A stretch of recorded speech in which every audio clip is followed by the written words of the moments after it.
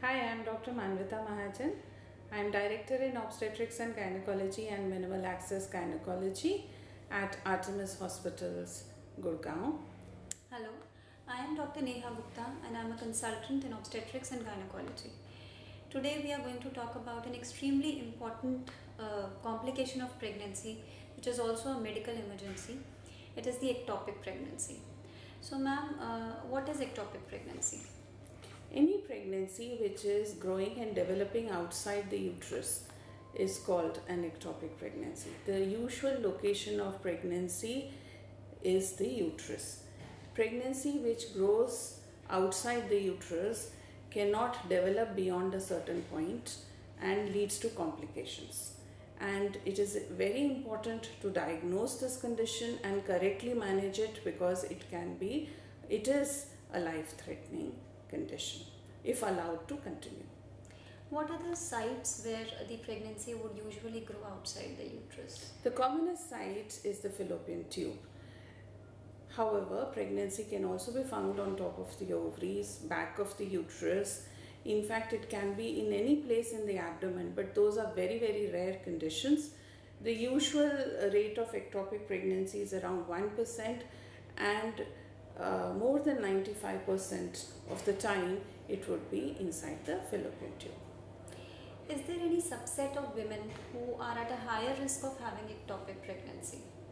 Though any woman who is pregnant can have an ectopic pregnancy, there are certain women who have higher than normal chance of having an uh, ectopic pregnancy. So those women who have suffered from ectopic pregnancy in the past, those women who have suffered from recurrent episodes of pelvic inflammatory disease or who have um, scarred or uh, infected fallopian tubes or those in whom uh, surgery on the fallopian tubes has been performed.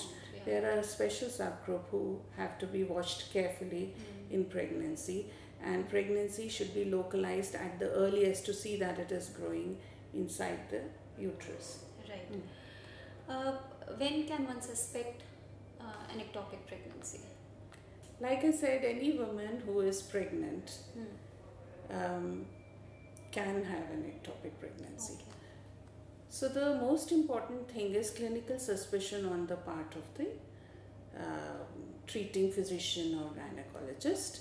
Any woman who comes in the reproductive age group and who comes with pain abdomen or who reports menstrual disturbances in the form of either missed periods or irregular periods or any woman who comes and gives history of menstrual irregularities pain abdomen with fainting or any such symptoms uh, should be investigated for uh, ectopic pregnancy So we've been saying that this is a medical emergency and a life-threatening condition. What are the risks to the woman who's having an ectopic pregnancy? Since the normal location of the pregnancy is the uterus, and as we know, the baby grows and develops normally inside the uterus only, it's specially designed for that purpose by nature. The pregnancies which are growing outside the uterus cannot grow beyond a certain point. Right. And if it is implanted in the fallopian tube, Right. after a certain point, it leads to either tubal rupture or abortion starts to happen. However, this tubal rupture leads to bleeding inside the abdomen, or abortion, which is happening, leads to blood loss inside the abdomen, which is a hidden blood loss, not visible to us. So, by the time the woman reaches or seeks help, sometimes a lot of blood loss has already occurred, and this can at times be fatal also.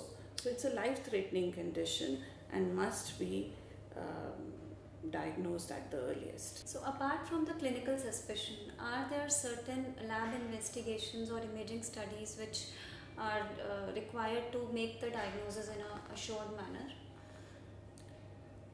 The first and most important step is to diagnose the pregnancy. An accurate diagnosis of pregnancy is possible by doing a blood pregnancy test called beta HCG. If beta HCG says that the woman is pregnant, this is the most accurate pregnancy test.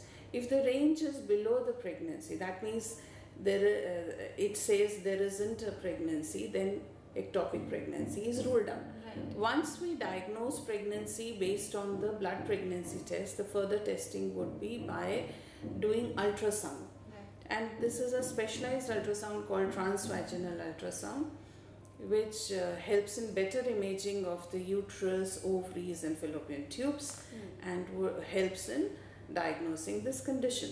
Sometimes we have to do serial monitoring to correctly diagnose this condition. Right. So once the diagnosis has been made, how do we manage the condition? Ectopic pregnancy is managed either by medication or by surgery.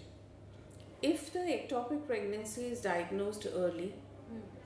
when the beta HCG levels are low, size of the pregnancy is small, the woman's condition is stable, many a times she can be offered treatment um, which does not involve surgery. Just by means of medication, this can be managed. However, following medication, she requires follow up by means of uh, again beta HCG and ultrasound studies to know that it is resolving and uh, the ectopic pregnancy is getting properly uh, treated. Surgery is reserved for women who are poor candidates for medical management. That means the size of ectopic is large, the beta HCG levels are high, her own clinical condition is not stable, Right. Or she may have medical conditions which do not allow us to use medicines, or we feel that um, uh, she herself is desirous of uh, surgical treatment Right. because the medical treatment can be prolonged at times, then in those women, uh, surgical treatment is offered. The surgical treatment is usually done laparoscopically. And the aim of the surgery is to remove the ectopic pregnancy. Sometimes, uh, while fulfilling the same, we have to remove the fallopian tube, and sometimes we are able to save the fallopian tube. Often, this requires complete assessment of the situation before surgery, during surgery, and of course, uh, counseling of the couple regarding. So um, I believe that uh, all the information has been extremely useful for our, for our viewers, and thank you, ma'am, for uh, the information given. Thank you. Thank you so much.